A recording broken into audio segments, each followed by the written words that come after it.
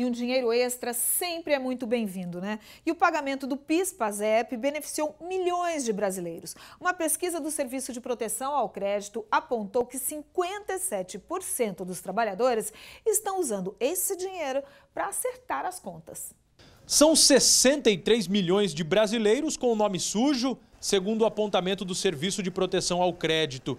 Gente que perdeu o controle das contas por diversos motivos, mas é o desemprego que encabeça a lista. Falta de emprego, acumulou as contas, dívida em banco principalmente, não está fácil. Estou vivendo só de biquinho.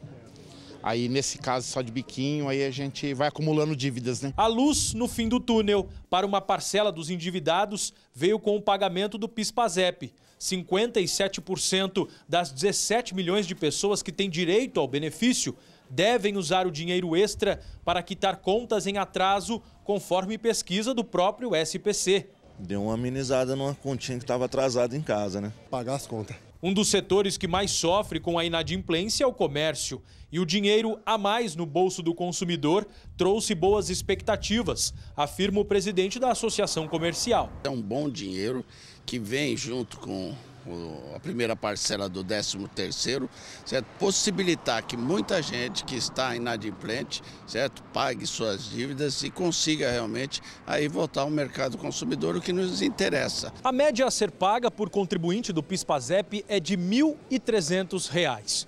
O valor, claro, deve afrouxar o cinto para quem estava apertado. E o comércio está de olho não só em receber, viu? Mas principalmente naqueles que poderão voltar às compras.